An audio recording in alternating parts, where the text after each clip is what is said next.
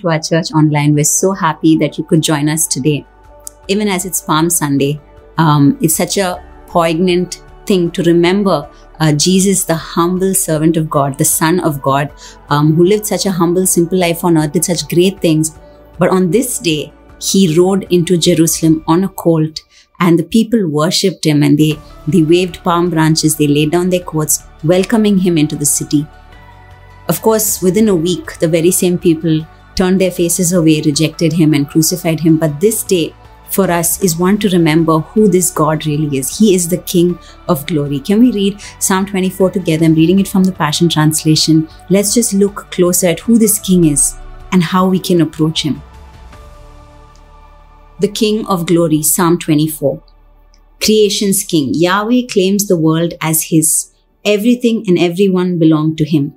He is the one who pushed back oceans to let the dry ground appear, planting firm foundations for the earth. Who comes before the king? Who then is allowed to ascend the mountain of Yahweh? And who has the privilege of entering into God's holy place? Those who are clean, whose works and ways are pure, whose hearts are true and sealed by the truth, those who never deceive, whose words are sure they will receive Yahweh's blessing and righteousness given by the Savior God. They will stand before God, for they seek the pleasure of God's face, the God of Jacob. The King is coming, so wake up, you living gateways. Lift up your heads, you doorways of eternity. Welcome the King of glory, for he is about to come through you. You ask, Who is this King of glory? Yahweh, armed and ready for battle. Yahweh, invincible in every way. So wake up, you living gateways, and rejoice. Fling wide, you eternal doors. Here he comes, the King of glory, is ready to come in. You ask, Who is this King of glory? He is Yahweh, armed and ready for battle, the mighty one, the invincible commander of heaven's hosts. Yes, he is the King of glory. Even as we get into a time of worship, can we pause in his presence can we see Jesus for who he really is, the mighty one, the invincible one, the King of glory. Let's worship together. It was such a day like this. Uh, Jesus enters into Jerusalem, and uh, everyone in the crowd sang Hosanna, Hosanna to the Son of David, Hosanna, Hosanna. And this incident is very important because this is one of the incidents that's been recorded in all four gospels.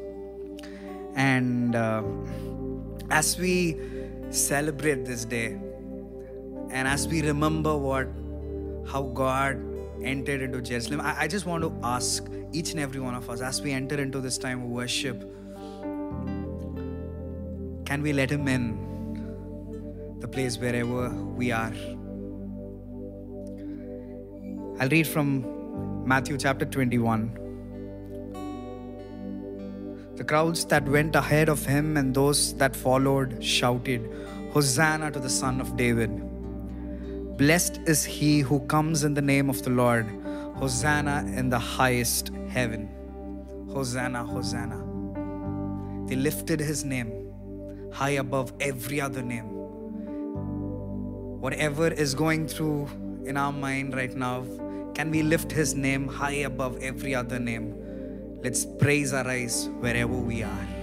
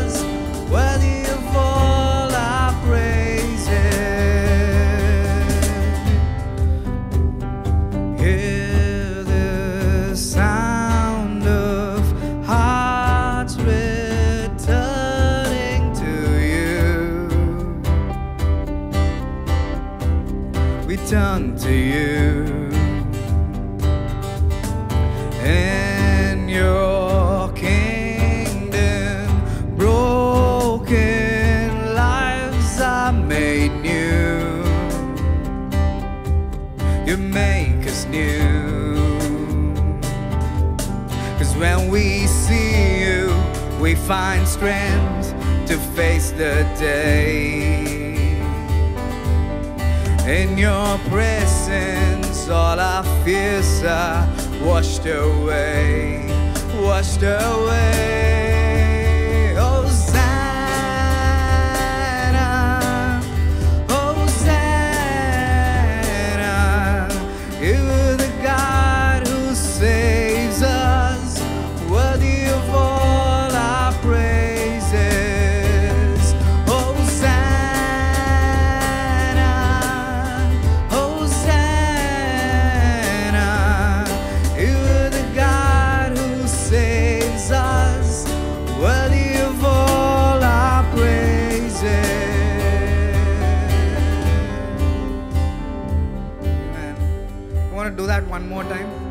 Sing Hosanna, Hosanna.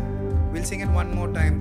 And as it says, you're the He's the one who saves us, and His name is to be praised. Hosanna, Hosanna,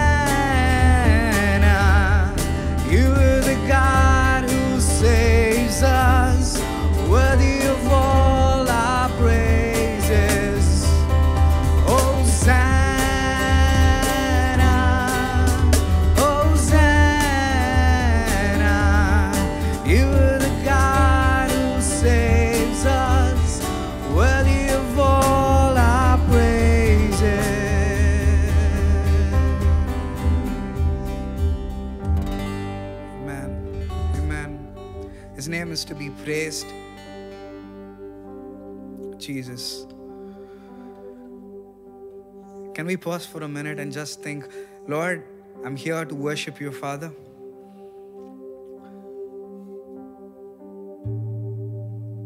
Lord, may I pray, Lord Father, Lord, in everything that we do, Lord Jesus, Lord, we want to lift your name. And for that, we want you to be in the center of everything that we do, Lord Jesus. We might not have the words to articulate it. We might, times, we might not even have that right tune to sing. But how beautiful it is. He's a God who sees our heart.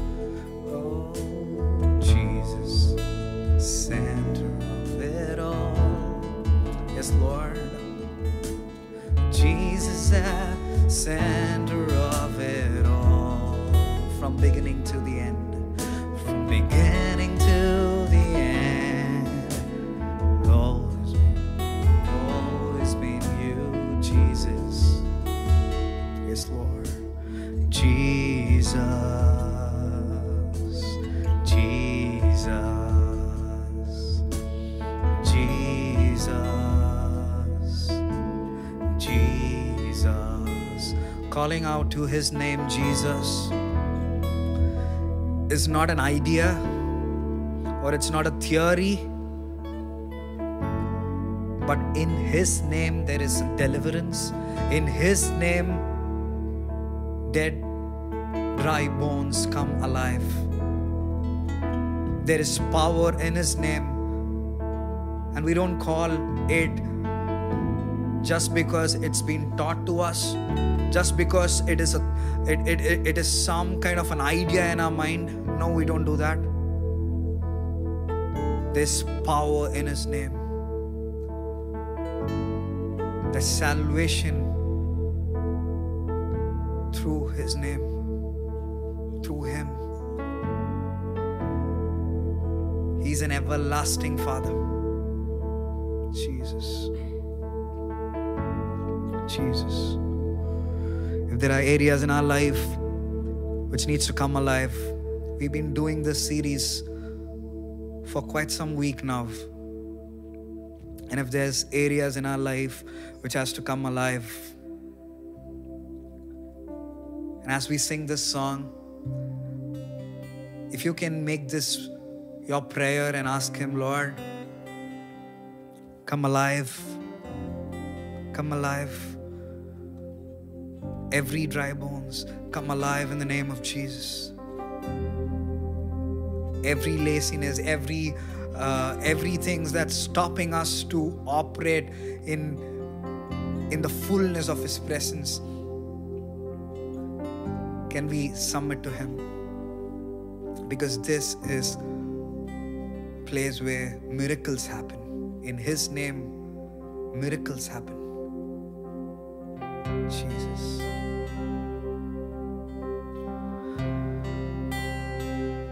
This is a house of worship. This is a place of praise where every demon trembles, where we proclaim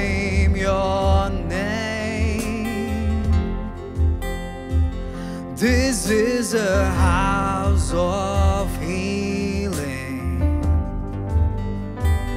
Our hearts are full of faith. You have our full attention. You have the final say.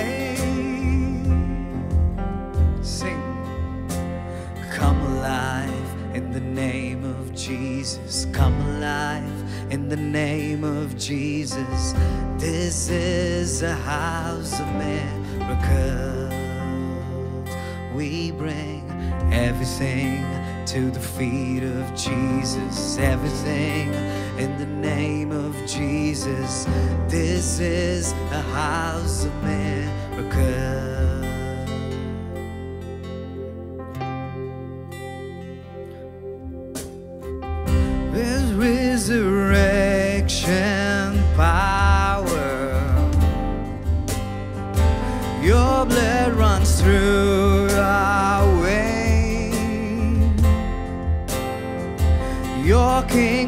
Kingdom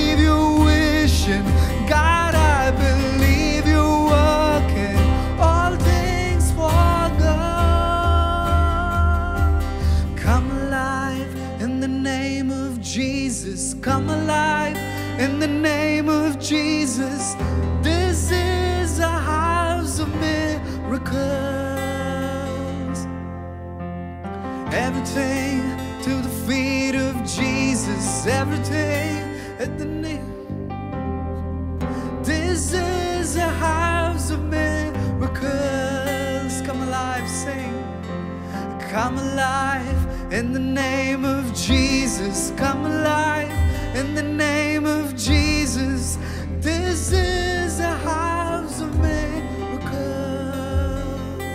We bring everything to the feet of Jesus. Everything in the name of Jesus. This is a house of miracles. Wherever you are is the house of miracle. Is a place where miracles happen. In His presence, miracles happen. In His presence, dry bones come alive.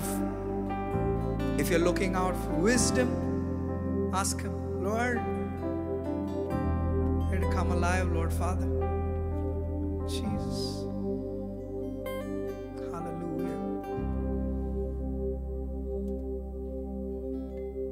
Father, we just thank you and praise you. We thank you, Lord, for sending your son Jesus. We thank you, Lord, for his presence with us even now.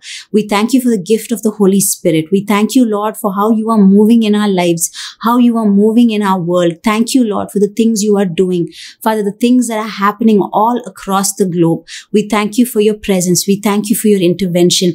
We thank you for your church. We thank you for your people. We thank you, God, for you are going to do greater things in the days to come.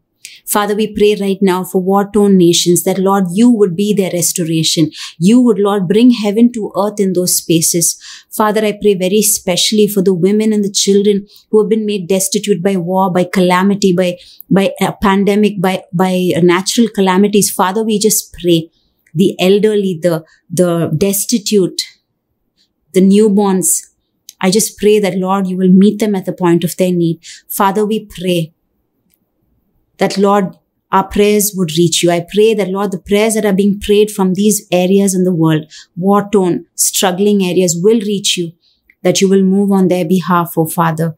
Lord, I pray also very specially for the nations of the world, for governments, that they will have wisdom, that leaders will have wisdom, leaders will lead with compassion and, and Lord, they will have skill in how they lead their nations, oh Father. We pray for the financial state of the whole world. We pray against recession. We pray against an economic downturn. We pray, oh God, that you will protect your people, protect Lord, the people who are most unaware of things, that Lord, you will continue to guide us and lead us, oh Father, and go before us. Lord, I pray right now for those who are in this service. Lord, those who have come in with a heavy heart. I pray, oh Father, that Lord, you will lighten the burden, that you would meet them, oh Father, right where they're at. I pray, Lord, for anyone who is struggling, Lord, emotionally or physically. Lord, anyone who's struggling in a very important relationship, that you would set them free. You would give them deliverance, oh Father. Lord, I pray for those who are asking you for a breakthrough in their finances. We pray that, Lord Jehovah Jireh, you would help and provide. I pray, Father, if anyone is giving up on life, if anyone is saying, I can't do this anymore, I cannot go on, I pray that, Lord, you will give them a fresh release of hope. I pray they will wait in expectation for you, Father. We pray, O oh Lord, that you will show us that you truly are the King of our lives. I pray that God, we will hand over the reins of our life to you. I pray that God, we will live in a surrender on a daily basis. I pray that Lord, you would allow, we would allow you to move in our lives. Holy Spirit, we give you access. Help us, lead us, guide, guide us, and go before us. In Jesus' name I pray. Amen. Amen. The last song we sang during our worship. We're going to do that bridge one more time. We're going to proclaim and we're going to believe that He is moving. We're going to speak that into every dry bones. We're going to speak that in faith. Wherever we are, we're going to speak that into situations that doesn't seem moving anywhere. We're going to speak that to come alive in Jesus' name. To come alive in Jesus' name. I still believe you're moving. I still believe you're speaking. God, I believe you're working all things for good. I fix my eyes on heaven. God, I receive your wishing. God, I believe you're working all things for good. We do it one more time. I still believe you're moving. I still believe you're speaking. God, I believe you're working all things for good. I fix my eyes on heaven. God, I receive your wish. God, I believe you're working all things for good.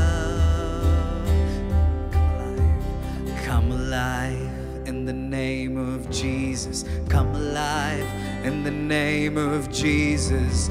This is a house of miracles. We bring everything to the feet of Jesus. Everything in the name of Jesus. This is a house of miracles. Come alive, alive in the name of Jesus. Come alive in the name of Jesus. This is a house of miracles. We bring everything to the feet of Jesus. Everything in the name of Jesus. This is a house of miracles. Sing as you believe it. Come alive in the name of Jesus. Come alive in the name of Jesus. This is a house of miracles. We bring everything to the feet of Jesus. Everything, the name of Jesus. This is a house of miracles. God, believe, Lord Father, that you're moving, you're working all things, not just one thing, two things, three things, but all things, Lord Father, for our good. We believe in you, in you, Lord Jesus. We humble ourselves in Jesus' name. We pray.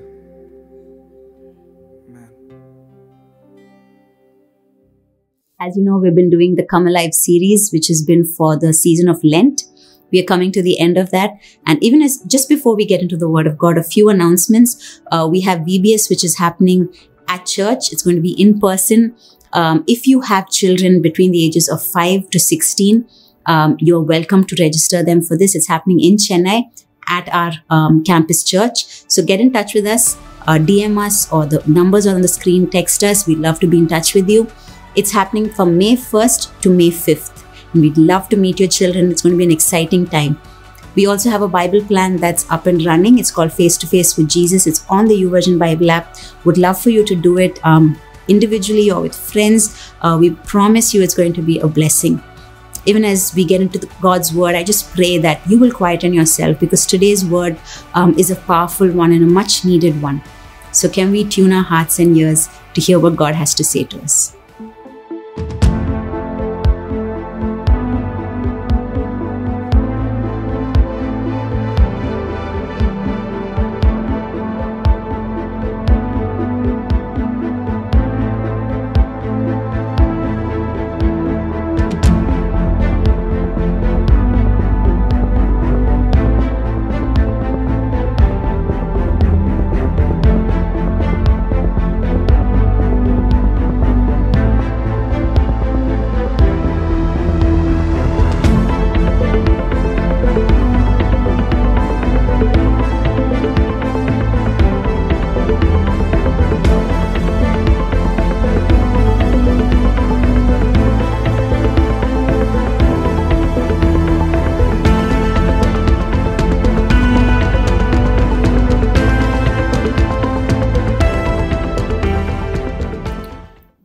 Church. It's such a joy and a privilege to be bringing God's word to you today.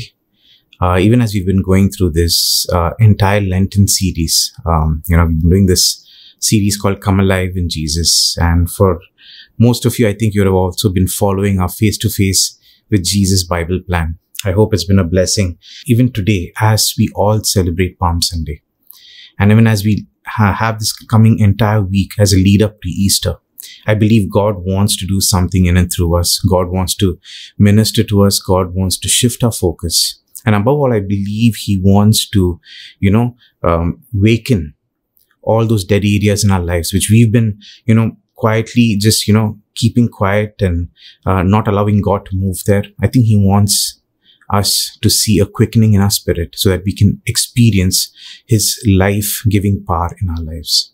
And even as we are continuing on, it's Palm Sunday. And today, what we are going to be looking at is come alive in worship. Uh, it's a big topic. Worship is a big topic. And for a lot of us, worship is probably, you know what, those two songs that we sing before hearing God's word. Or, you know, it's, it's that thing they set the entire service up before we hear God's word. And, you know, many a times, so many things have a different percentage of weightage that's been given over the years. For some, we believe only the word of God is important. And so we can skip worship. For some of us, we believe worship only is important. We don't have to pay attention to the word of God. But I believe as we dwell in God's word, you'll see that everything is intertwined. There's a lead up to which God asks us to get into a time of worship so that we'll be able to see him.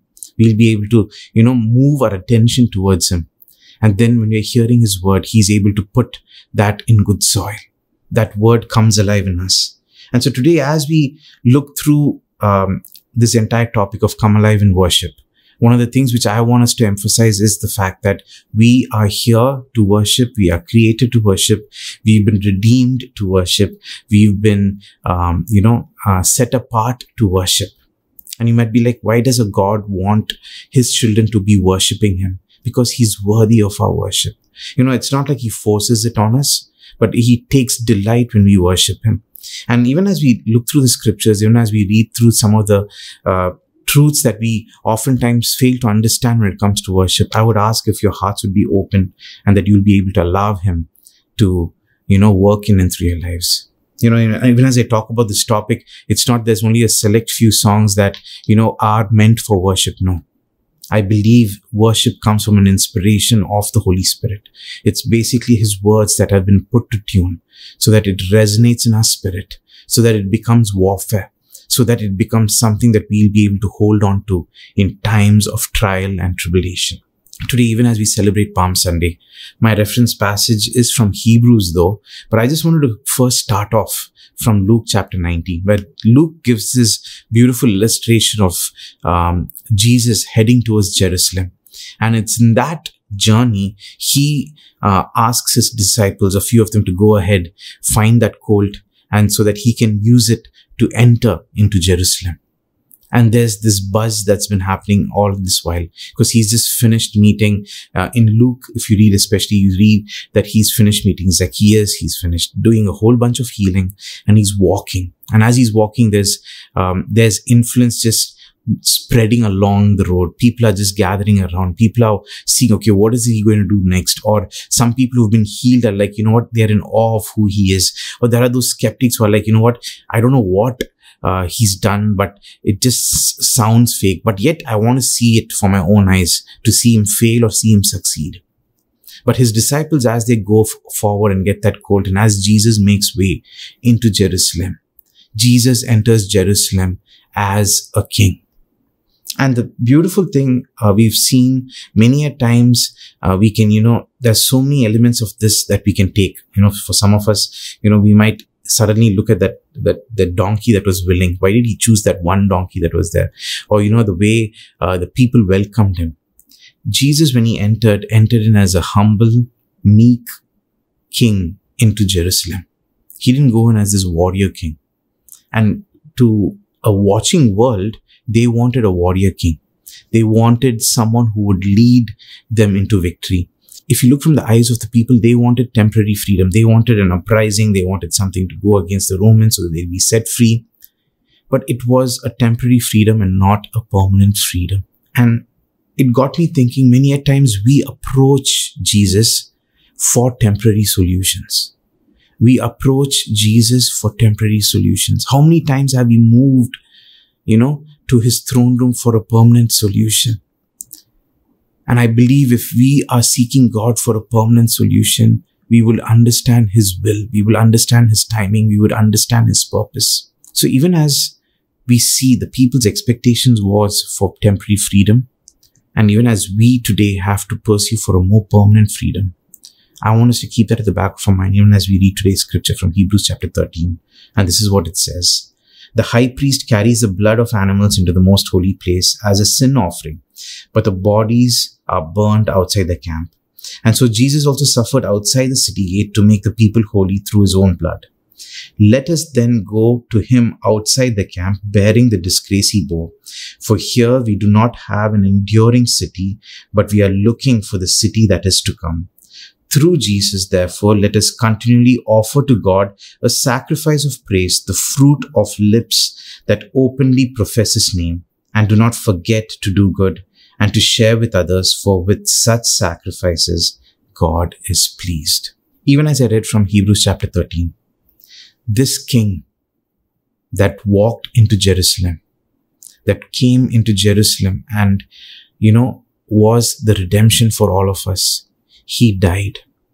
And he didn't just die an ordinary death. He took the shame, the guilt, the burden of sin once and for all. And like every other animal that the high priest had to sacrifice at the temple, he was cast out and once and for all we have been redeemed. And today, with that assurance, with that, uh, with that confidence, can we go in and worship Him? And our worship will automatically change. We'll suddenly feel that we are not being governed by things that are around us. We'll suddenly realize, you know what? The ambience, the style of music, the sound, the light, the people that are around, the way the song is sung, the way the band has been put together, all that doesn't matter. Because it'll be personally between you and your God. It'll be personally between you and Jesus because you understand that He is the one who's worthy of our praise. No one else. We won't go by the motions of it you know, they wouldn't have to build it up to a place for us to worship, but we will just go in and we are in there in hundred. We are ready to worship. We are ready to connect with God. The pressures of this world, the situations of this world, the, the turmoil that we've been struggling with all comes to a standstill there when we worship Him. And who is it that we are worshiping today? And I want to emphasize that a bit more. As I mentioned earlier, we are worshiping a king not an earthly king. He is the King of kings and the Lord of lords. The Israelites, way back when Samuel was a prophet, went to him and said, You know what? Give us a king. Why did they want a king? Because they saw around and everyone around their neighboring countries had a king. And they felt that if they had to have a sense of identity of who they are as a nation, they need to have a king. And so they went to Samuel. And I really believe it displeased God, it displeased Samuel. But as they went and asked, God put this forward and said, let them know that this is what a king will do. And if you read that in First Samuel chapter 18, you'll see a couple of things. And I just want to highlight what all he's going to do. It says, he will reign over you and will claim his rights. He will take your sons and make them serve with his chariots and horses, and they will run in front of his chariots. He'll assign some as commanders of thousands and fifties, and others he'll make them plow the ground and reap his harvest, others to make weapons of war and equipment for chariots. He will take your daughters to perfumers and cooks and bakers. He'll make, he'll take the best of your fields and vineyards and olive groves. He will take a tenth of your grain and of your vintage and give it to his officials and attendants. Your male and female servants and the best of your cattle and donkeys will be taken for his own use. He will take a tenth of your flock, and for yourselves will become his slaves. And it goes on to say, God says, on that day, when you cry out for relief from a king, the Lord will not answer you. After God had spoken all this, they still were adamant that they wanted a king. And so when Samuel had to anoint Saul, and I believe everything falls under his perfect will, because he knows the heart of man. He knows this is what they're going to desire. And so he told them, Hey, I know this is what you desire, but this is what he's going to do. And you read the entire Israel, you know, and then Judah, the entire history of kings that came. None of them were able to actually be a good king. None of them were able to actually, you know, be right with God all through their life. They all had pitfalls. They all struggled because they were all humans. And so here Jesus is walking in as a king, not as a human king would walk in, not as how a human king would, you know, uh, gather an army around. No, he walked in with people who he had touched, with people who had witnessed him, with some people who didn't believe in him also, and some who are out there just to make sure that he doesn't succeed and, you know, to pull him down. Jesus walked with those people in, but he walked as a humble and as a meek king so that he can be led to the altar. He can be sacrificed as a perfect lamb. He is the perfect king. He is the perfect lamb. And so today when we worship this king, I want you to understand that he's not a king who's has to do anything to prove himself. No, he is king over all of us. He created the world. And so today, when we come alive in worship, you're coming alive to the worship of this king who is magnificent. In, in fact, even I don't have words to say of what he is because each of us will have an attribute of God that will stick out. Each of us, every time when you go to the throne room of worship, will be able to see what, a glimpse of who he is and what he's done. For some of us, the very nature speaks of what he's done. When you see the stars, when you see the sky, when you see the plants, when you see sunrise, when you see a sunset, when you see the clouds, you see a king who took time to create everything. This is not a king of uh, Egypt where, you know, he had a sorcerer for this. He had a, a doctor to do, uh, to you know, mix some concoctions of uh, herbs and create medicine. No, he is the king who, when he speaks, healing happens. He is a king when he speaks, the earth shakes, the earth trembles, the heavens move. Here is a king who can bring everything to a standstill, yet so humble. And so many a times when we come alive in worship, there are a couple of elements where we fail to understand. We are so caught up many a times in the periphery of worship. We are caught up sometimes, a lot of times with our own personal problems that we fail to understand that I'm worshiping the King of Kings and the Lord of Lords. I'm worshiping a king, even to be in his courtroom is a big deal. And I understand the power and the, and the cost of redemption that he has paid for us. So today, with this in mind,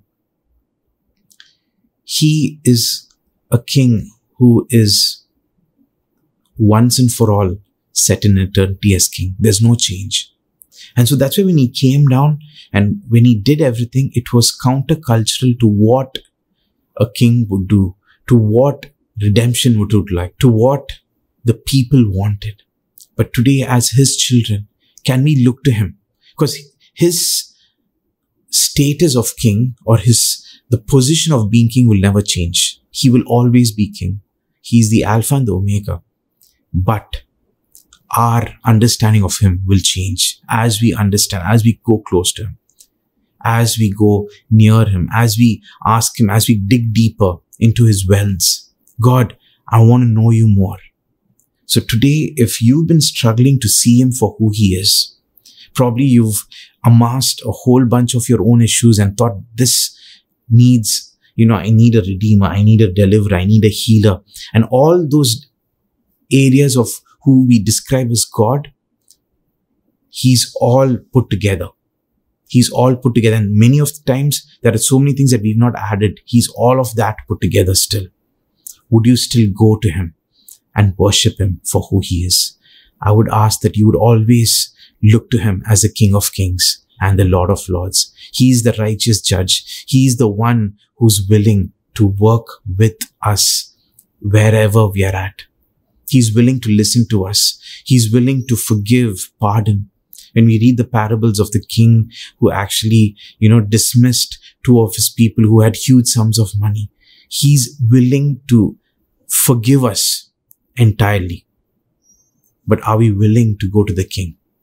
Are we willing to go to the king? Are we willing to sit at his throne and listen to what he's commanding us to do? Even as we um, continue in this, I have two things with regard to come alive in worship, which I want to leave so that we'll be able to worship him in all honesty. The first thing is when we come alive in worship, it must disrupt us. when we come alive in worship, it must disrupt us. It should stop us from what we're doing currently in the present and move us to looking at Him. And our entire focus should be at Him. Luke chapter 19 verses 37 to 46, and this is what it says.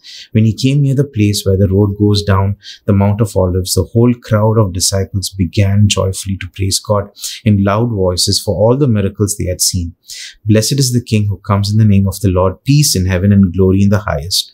Some of the Pharisees in the crowd said to Jesus, Teacher, rebuke your disciples. I tell you, he replied, if they keep quiet, the stones will cry out. And he approached Jerusalem and saw the city. He wept over it and said, If you even know, had only known on this day what would bring you peace, but now it is hidden from your eyes. The days will come upon you when your enemies will build an embankment against you and encircle you and hem you in on every side. They will dash you to the ground, you and the children within your walls. They will not leave one stone on another because you did not recognize the time of God's coming to you. When Jesus entered the temple courts, he began to drive out those who were selling. It is written, he said to them, my house will be a house of prayer, but you have made it into a den of robbers. Even as we read, a couple of things that we can see when Jesus walks in, people who are there are saying, why are people worshiping you? Why are they? In fact, Luke doesn't emphasize that, but when you read in John, you can see the disciples are actually taking palm leaves and laying it down. Most of the people are taking their cloaks and they're laying it down. They are welcoming a king. Some of them were acting in worship in welcoming the king. Some of them were like just standing in the side and they were questioning, what is this that's happening? Can you tell your disciples to pipe down? We don't want the attention. We don't want the Romans to think anything. And Jesus says this, if they keep quiet, the stones will cry out. And I believe many a times we think, you know what, we are the sole person who's actually there to worship God. No. God has a multitude of people who are worshiping Him. You read in Revelation, the angels are worshiping Him. I believe His creation is worshiping Him today. Everything that He's created. There's nothing that's He's created that moves out of His order. And so today, when we look at this, why is it that we who have free will are struggling to worship Him? Because we are limited. We are limited. We are allowing the pressure of this world to disrupt us, but we're not allowing our worship to disrupt us. And even as I was thinking about this, I was reminded about reading an article on the earthquake, um, of how the earthquake occurs. And it was God reminding me I want you to be wrecked every time you come in to worship me. It's more than the words, more than the music. Would you give room for me to speak so I can wreck you, so that I can download on you, so that the weight of my glory will fall on you? And honestly, when, when you, when you hear the weight of his glory fall on you, you can't hold it, but rather just, you know, literally fall face down because it's in that disruption we'll be able to see his glory. It's in that disruption we'll be able to see his will and plan and purpose. It's in that disruption we'll find faith. It's in that disruption we'll find trust. It's in that disruption we'll know we have favor with him. So what does this disruption look like? Even as I told you, I read about this earthquake. When earthquake happens, there's a focus point, plates shift underneath, and there's this epicenter at which the earthquake occurred.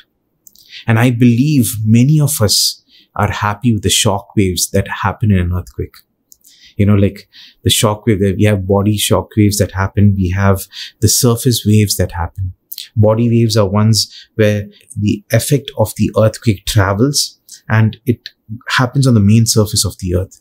Whereas the surface waves are limited to the surface of the earth and so of the planet. And so many times you'll see that the surface waves don't actually have that bigger impact, whereas the body waves have a bigger impact and the, they tend to, you know, the epicenter is where the most damage happens, but they tend to have smaller damages that keep happening and as it passes away. We many a times are okay with some kind of wave and experience that. We feel, you know what, I don't have to draw closer to, and if I'm listening to worship song, it's okay. No, listening in is one thing, but participating in worship is another thing. I would ask if you can participate in worship, if you can take a step in and say, God, come in, speak to me. Worship many a times is just keeping quiet and allowing God to speak. Worship is allowing God to download His truth into your spirit. Worship is when I'm lifted. The posture is when I lift my hands up. The posture is when I open my hearts. The posture of me being in worship is to receive from Him, not to tell Him, but to receive from Him. I exalt Him. I tell Him who He is, but I receive from Him His revelation. And that has to disrupt me. Because many a times our, we, we want faith to be attested. It's attested in what we speak. We talk about God, you can do all things. You can save me from this. You have saved me from this. Yes, it's good. But are we allowing His words to disrupt us? Our words are exaltation, but I believe His words are there to disrupt us. It will disrupt. He will drop in your spirit something, that shift that will happen in your spirit as you worship. And when you worship Him in spirit and in truth, there's God wants us to move. So what will happen is when He disrupts us, there won't, anything fake will break entirely. Anything that is true will draw deeper. In worship, when we allow Him to disrupt us, we soon understand His nature we soon understand here's a God who I'm worshipping whose nature is entirely different than what I've understood or what I've read or even what I'm singing of. Because let's face it, what's written here is the word of God, is the truth, but it's a part because it was written by a person who was inspired by the Holy Spirit. The song that I'm singing again is the truth of who God is, but also was inspired by the Holy Spirit. And here God is wanting to disrupt me so I will have a personal revelation about the nature of God. I will have a personal understanding of who he is, of what he governs and how he governs over everything. Yet, in that midst, he also knows the tiniest details. That's what worship is so crucial because it ministers to each and every one differently. It will disrupt each and every one of us differently. For a person who's thinking this God is so big and I'm so insignificant, the worship will come to a place where he'll say, you know what, I even have numbered your hairs. So what is it that we have lacked today in understanding of God, that we fail to understand is because many a times we are just okay with, oh God, I've raised, it's 20 minutes, I'm done with worship, now let's go to the next thing. No. I believe, church, we're coming to a season where we have to go deeper, where we have to go deeper into His truth. It all starts with us more, as we come into a corporate worship, there's order because when we all come together, there has to be a certain order. So we have times of worship. But I believe what I'm speaking today is more for personal life. Would we allow His Spirit to wreck us and disrupt us? Wreck us so that everything that we've grown up knowing is just part. But there's a whole big world of God that we do not know everything that I know about God is just this much. There's a huge part of Him that I don't understand. And I have a life a lifelong that I have to understand Him. And so am I willing to be disrupted every time, every stage to understand and know Him more?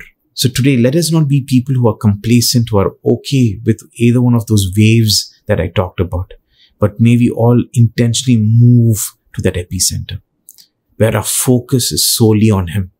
Our focus is not on the periphery, as I mentioned in the beginning, not on the lights, not on the way the song is displayed, or not on the way the musician is playing. No, that I would go in deeper. I would go in deeper. So when Jesus entered, what was Jesus actually um, disrupting in the house of God? He was disrupting things that we had placed as priority money lenders thought, you know what, this has become a good strategy. Let's kick all the Gentiles out of the outer courts and let's make this a transactional area. And so if money lenders come, there, there have to be food stalls. There have to be some place to drink. There has to be certain ways in which they have access to different varieties of birds and animals for sacrifice. It became entirely transactional. But when we allow Jesus to wreck our worship, it's never transactional. We enjoy, we long, and we desire to be in there. And when we desire to be in there, we will rise above our excuses. We will rise above our laziness. We will rise above that apathy that we have. And we'll be like, God, talk to me. You know, many a times we see people who have a song on their lips. That's because I believe there's some part that they have been disrupted by the worship of God. They were worshiping and they were disrupted. And so they have a song in their mouth to sing. They have something about his nature that's touched them that they're willing to sing about it all day. So today, when we come alive in worship, I want all of us to worship him that way, where we are worshiping from a place of being disrupted. But God will disrupt and he'll move those areas out. Daniel chapter 7 verse 13 to 14 talks about Jesus, the son of man, and he, you know, saw Jesus in this vision. And I believe we need to look at him every time we go into the throne room to worship him. This is how we need to look at him. This is what it says. In my vision at night, I looked and there before me was one like a son of man coming with the clouds of heaven. He approached the ancient of days and was led into his presence. He was given authority, glory, and sovereign power all nations and people of every language worshipped him. His dominion is an everlasting dominion that will not pass away, and his kingdom is one that will never be destroyed. Jesus is the king of a kingdom that will never be destroyed. Jesus is the king whose dominion is across everywhere. So if we need to see a dominion break in our life, in our family life, in our street, in our uh, town, in our city, we need to go to the king of all dominions who handles it. And we need to ask him. And that happens constantly. So that's why we say worship is also warfare.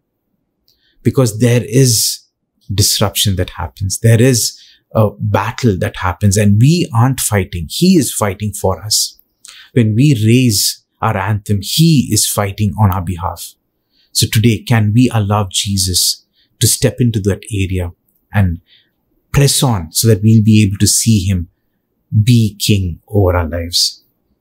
Sinclair B. Ferguson says this. He says, It is God who gives us a spirit of worship, and it is what we know of God that produces the spirit of worship. We might say that worship is simply theology doctrine, what we think about God, going into top gear. Instead of merely thinking about Him, we tell Him in prayer and praise and song how great and glorious we believe Him to be. Many a times we are looking for the right phrases to exalt Him. But if we can go to a place of being in truth and honesty to Him and saying, God, this is who you are to me. To me, this is who you are. And let's be people who speak for ourselves. Who is He to you? Because that's where God will show us who He really is. He will disrupt all that. He will disrupt and show us more, even more of who He really is. And I believe when we step into that area, He wants us to be changed. He doesn't want us to leave the same way that we came in when we actually entered into His throne room. We will leave back changed of knowing who Jesus is. The second part that I wanted to emphasize specifically when we come alive in worship, as I said, first, it must disrupt us. The second, it costs us. As Jesus was king and as he entered into Jerusalem, he was literally going to lay down his life. It cost him his entire life. It cost God his son in this world. It cost God his son he we read in john 3.16 for god so loved the world that he gave his only begotten son. It's the only person that he had that he gave wholeheartedly to redeem all of us. So today when we come into a throne room of worship it should cost us. Today what is worship?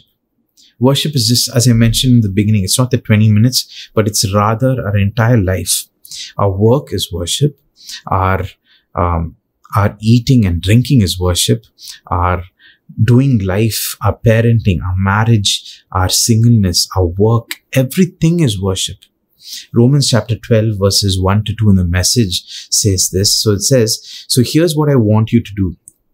God helping you take your everyday ordinary life, your sleeping, eating, going to work and walking around life and place it before God as an offering.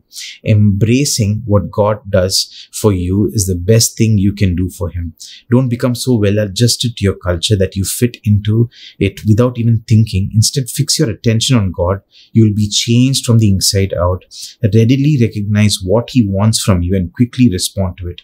Unlike the culture around you always dragging you down to its level of immaturity, God brings the best out of you, develops well informed maturity in you. And I've highlighted the word offering and place it before God as an offering.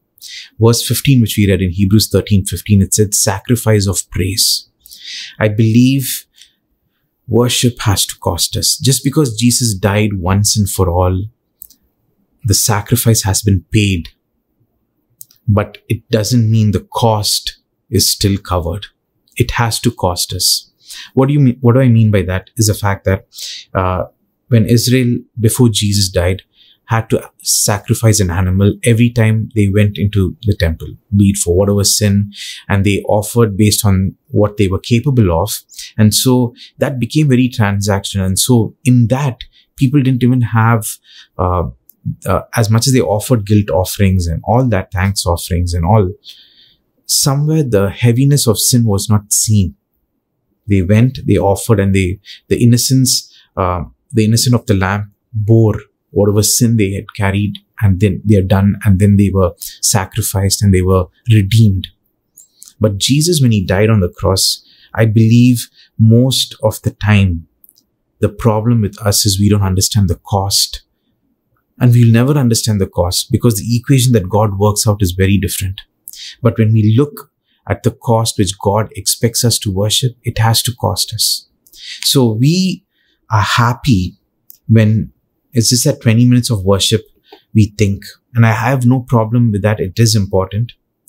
But I want to take it a step further because I remember when I was talking to a person, he said, you know what, Gershom, it's okay. I'm, I'm coming to church that, that two hours I'll be there. I'll be able to live my life the right way.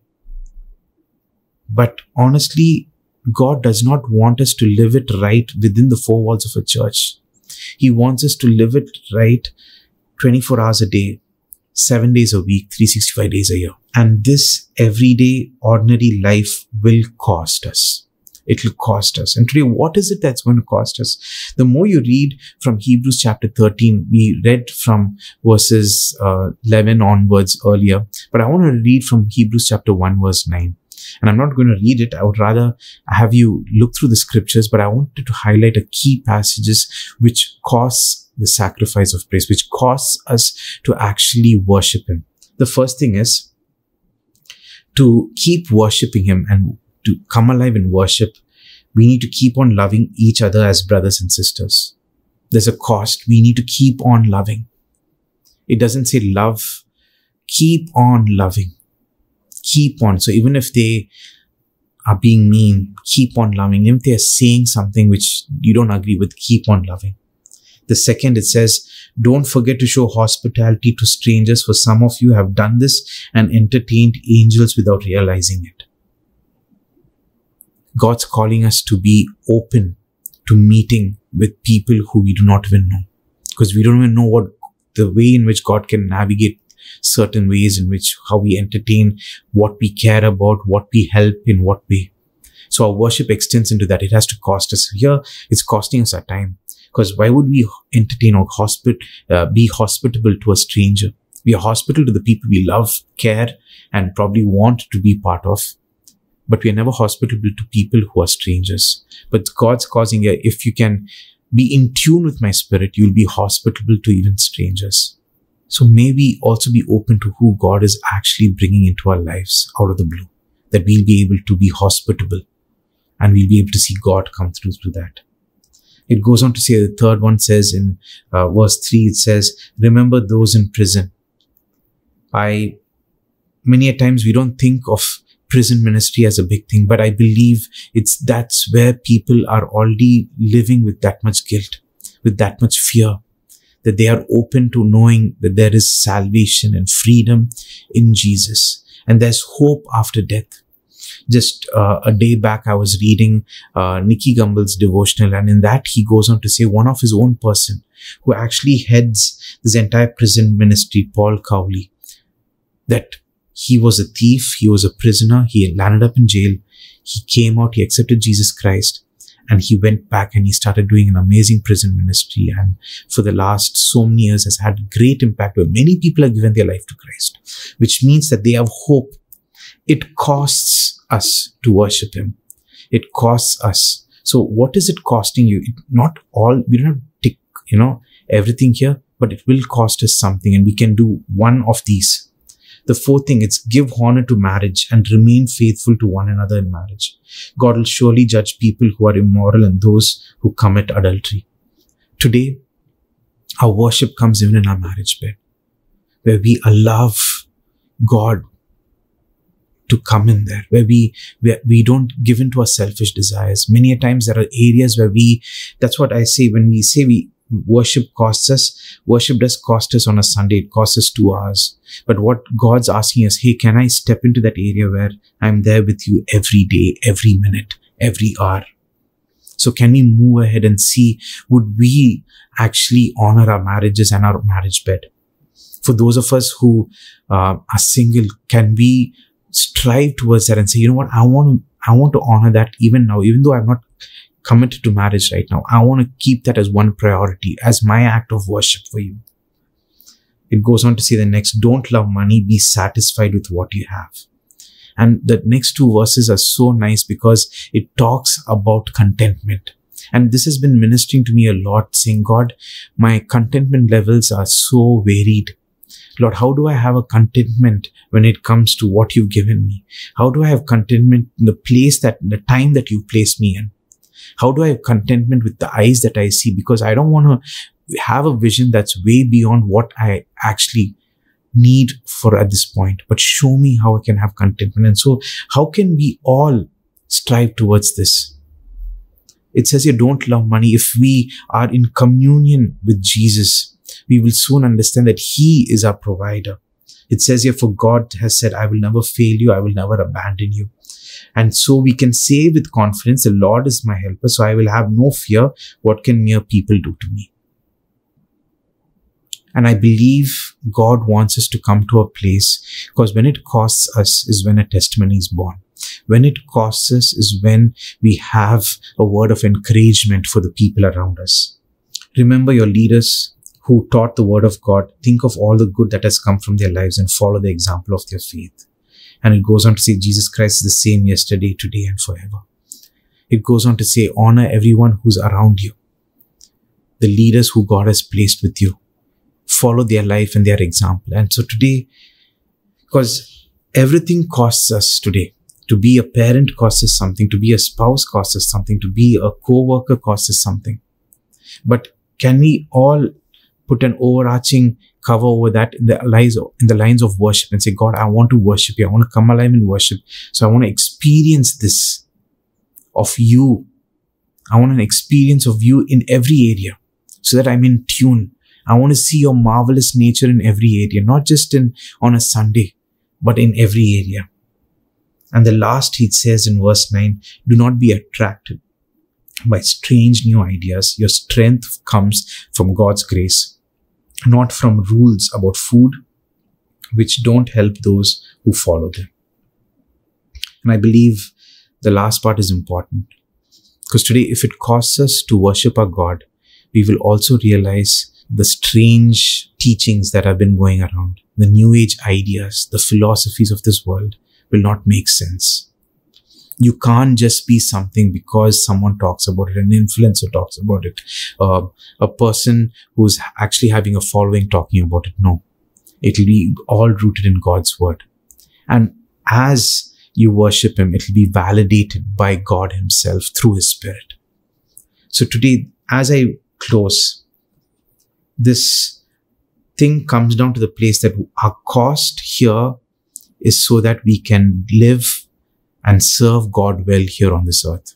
We need to run this race well, not start it well, but finish it well. We need to run the course of time well.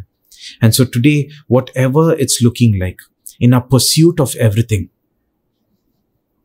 is it costing us to worship God?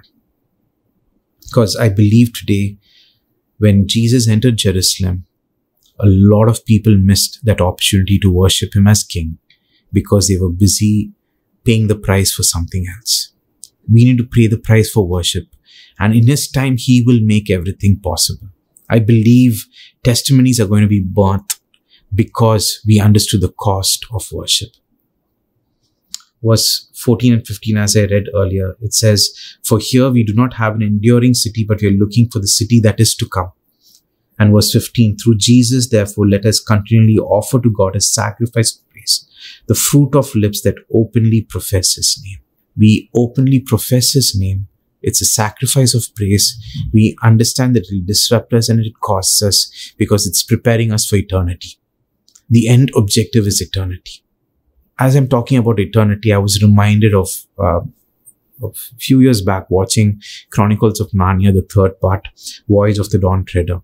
And there's this character called uh, the Reepicheep, which is like uh, uh, who's a rat, I think, yeah. And he uh, is a soldier. He has a sword and he fights. And at the end of the battle, as Aslan is standing there, and as the waves are actually um, there to actually take people, it, it's more or less like you know a time where they can step into between different uh, time periods. But as Aslan is standing there, he says to Aslan, I have long desired to see your country. And C.S. Lewis, when he writes, he talks of Aslan as God. And Reepicheep is telling, I want to go see your country. I want to see eternity. And he's, and Aslan tells him, that place is for all noble people just like you.